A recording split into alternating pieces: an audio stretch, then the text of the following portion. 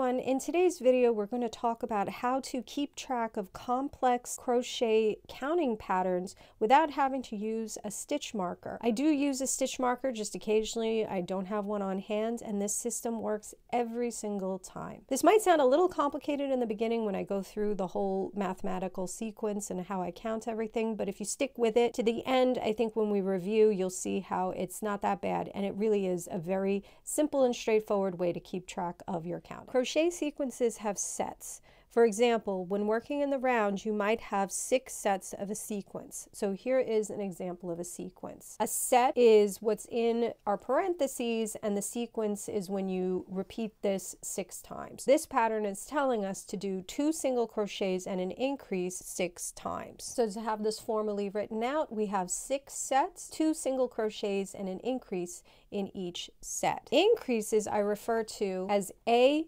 and B. A is the first stitch of an increase and B is the second stitch. I use these terms A, B because I won't confuse my increase counting with the numbers I'm already saying. And I know that if I say an A, I always need to follow up with a B. Whenever I use numbers from increases, I lose count. When counting, I count the set number first and then the stitch number. This sequence of two single crochets and an increase times six would look like this. My stitches would be one, one, one, two, 1A, 1B. So this is single crochet 1, single crochet 2, increase. Then I would say for the second set, 2, 1, 2, 2, 2AB. So this is the second single crochet, second single crochet, second increase. This is set 3. Set 3, 1 of 3, 2 of 3, increase 3AB. Set 4, 1 of 4, 2 of 4, AB 4. Set 5, 1 of 5, so 5 1, 5 2, 5AB. Set 6, set 6, 1 single crochet, set 6, second single crochet, 6AB. So what does this actually look like when I'm crocheting? Here is my sequence. I have 6 single crochet in a magic ring. So now I'm going to do 6 increases. We have 1A, 1B. That's my first increase. 2A, 2B, second increase, 3A,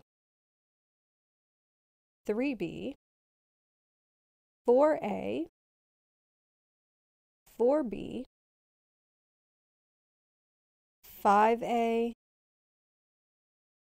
5B,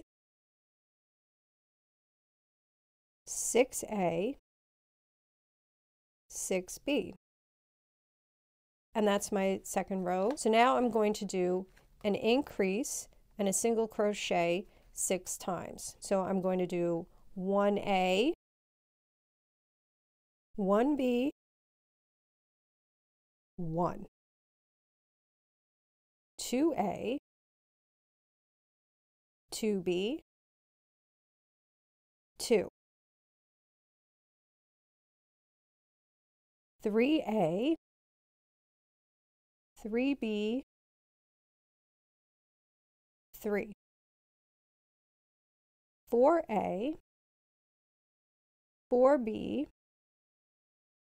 4. 5A, 5B, 5.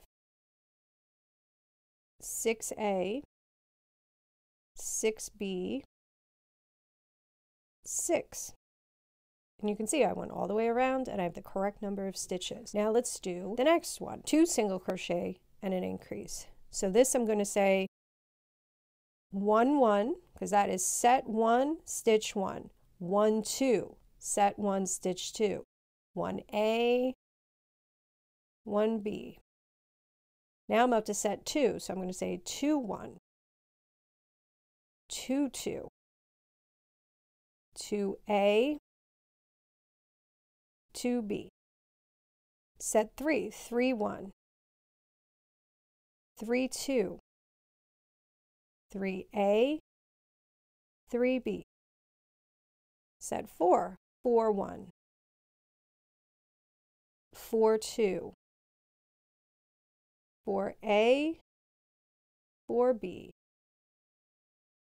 5, 1. 5, 2. 5A, 5B. six one, six two, six A, six B. Now I'm going to use a stitch marker to show that the counting is correct. We're up to one single crochet and increase three single crochets five times and increase two single crochets. I'm going to do my one to put in the stitch marker. Now I'm going to do 1A, 1, 1, 1, 2, 1, 3. Then we have 2A, 2B, 2, 1, 2, 2, 2, 3. 3A, 3B, 3, 1, 3, 2, 3, 3. 4A,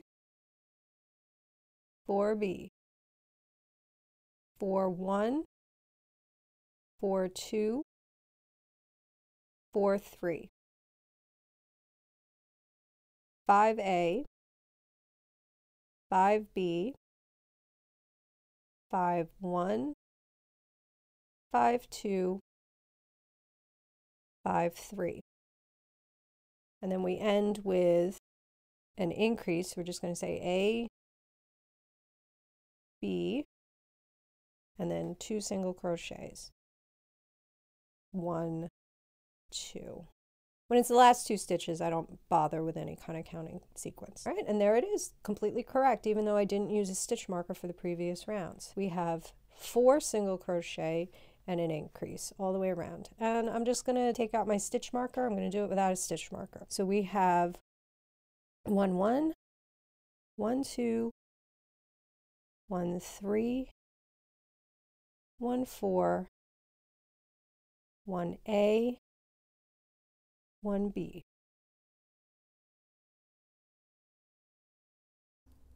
Two one, two two, two three, two four, two A, two B. Three one, three two, three three, three four, three A, three B. Four one, four two, four three, four four, four A, four B. Five one, five two, five three, five four, five A, five B, six one, six two, six three, six four, six A, six B. And then let's use the stitch marker again to see if it's right. So now we're going to do two single crochets and increase five singles, increase three, two single crochet. So in the beginning here, I don't bother with any kind of fancy sequence counting just because it's a split set where one half of the set is completed on one side and one half is completed on the other. So we just have one and two. Now we begin our sequence. We have the increase and the five times five. So 1A, 1B, one one, one two, one three, one four, one five, two A, two B, two one, two two, two three, two four, two five and then we're up to an increase in three. So we have A, B, 1, 2, and so on. Sometimes it's not as cut and dried, where you'll have single crochets and increase and then single crochets all in one set. So what do we do in this case? The way I would count this one is I would say 1, 1, 1, 2, 1 A, B. And then because this is the back end, I would say 2, 1, 2, 2. Just so that I know that the one in this case, my first one is going to refer to the first set within the set. Then we have the increase, and then I would do twos here to refer to the second leg of this set. In this case, you're not able to count each set along. You could, but it might get a little cluttered where you would say 1 1 1 2 1 AB, then 1 2 1 1 2 2. This is definitely flexible. You can make this make sense to you in whatever way you want. I would do 1 1